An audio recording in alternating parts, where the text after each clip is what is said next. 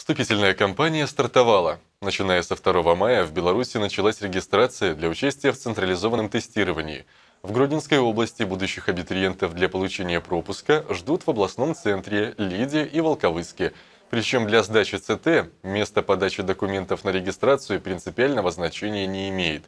К примеру, абитуриент может зарегистрироваться в Лиде, а впоследствии проходить тесты в Гродно – для регистрации необходимо прибыть в пункт регистрации, имея при себе только паспорт, пройти предварительную регистрацию, получить э, индивидуальный лицевой счет, с этим лицевым счетом пройти в банк, оплатить и обязательно вернуться к нам для того, чтобы закончить регистрацию и получить пропуск.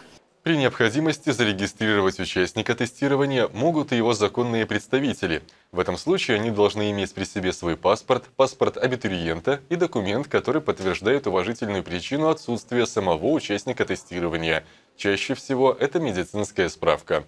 В прошлую вступительную кампанию в Гродненской области зарегистрировались для прохождения ЦТ более 9 тысяч абитуриентов. Количество впоследствии не явившихся составило самые низкие по республике 2%. Первый день регистрации в Гродно прошел спокойно, ажиотажа не было. И все же специалисты рекомендуют не откладывать получение пропуска на экзамен на последний день. Есть примеры, когда приходит последний день с просроченным паспортом. Соответственно, паспорт недействительный, зарегистрироваться в последний день нельзя.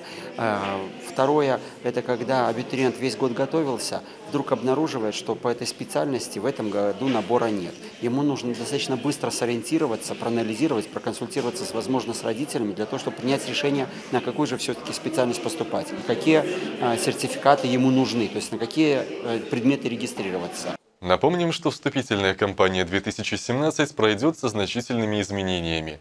Вместо трех сертификатов абитуриенты получат четыре, ведь появилась возможность давать на один предмет больше. Продлен и срок самих сертификатов. Теперь они будут действовать два года. А у тех, кто по каким-либо уважительным причинам не сможет принять участие в централизованном тестировании в основной день, будет целых три резервных дня, чтобы сдать экзамен. Регистрация участников продлится до 1 июня. Регистрация началась 2 мая. Будет она у нас продолжаться в субботу 6 мая, 13 мая и 27 мая. И заканчивается 1 июня.